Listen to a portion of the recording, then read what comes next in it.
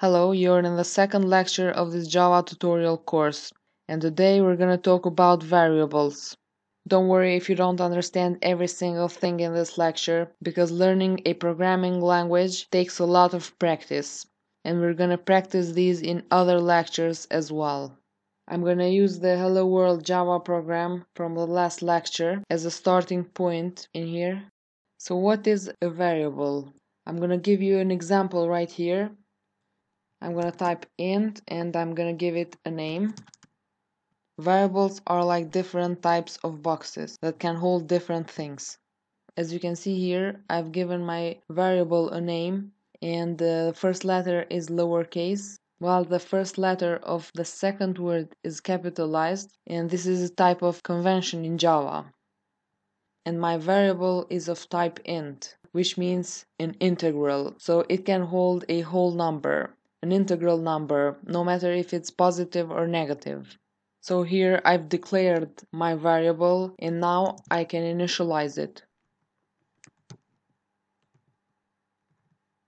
And I can print this value by using the same println method like in the previous lecture. I'm gonna type sysout and control space and again Eclipse will fill out the system.out.println method Within parentheses, I'm to write the name of my variable and I'm to click run. And as you can see here, it outputs 42. Now as you can see, I have uh, declared and initialized my value in different steps. However, I can do it only in one step. So this is the same thing as we did previously, but it's declared and initialized in only one line. Now in Java are 8 different types of primitive variables and we're gonna go through these really quickly and in the next tutorial we're gonna be looking at classes and objects. So if you want an integral number you usually use an int but sometimes you see a short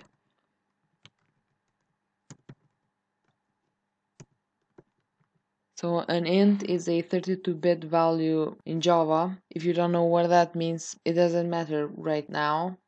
However, short is a 16-bit value in Java and it can hold slightly smaller numbers than an int value. I think it can hold up to 32,767 and we can output this in the same way. sysout, control space, a short and these names by the way you can call anything you want. You can call them numbers amounts values basically anything you want. So there is a long version of an int as well another primitive type in java. And this is a 64 bit for really big numbers. And we'll output this in the same way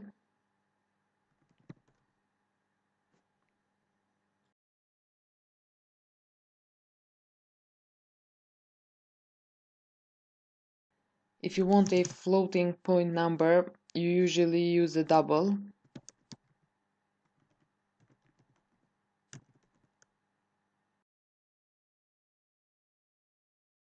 You use this for very precise decimal numbers. We're gonna print this out as well. We got the output right here and there is no long version of the double in Java, but there is a short version of it, and it's called float. And float must take an F at the end of the number, as you can see.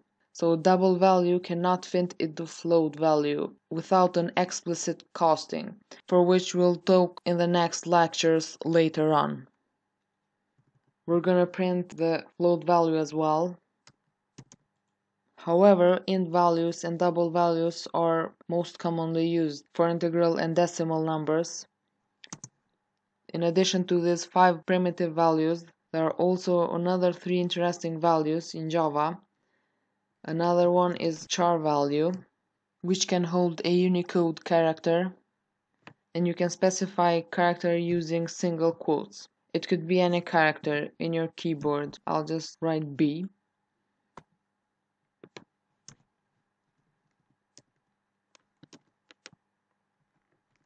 And there's also another very useful primitive type. It's called boolean and it can simply hold true or false.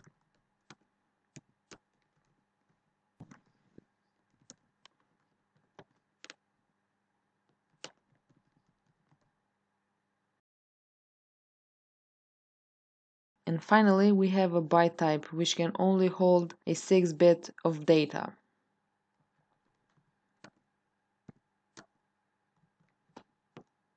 It can be positive or negative numbers, but positive numbers only go up to 127 and negative numbers can only go up to 128.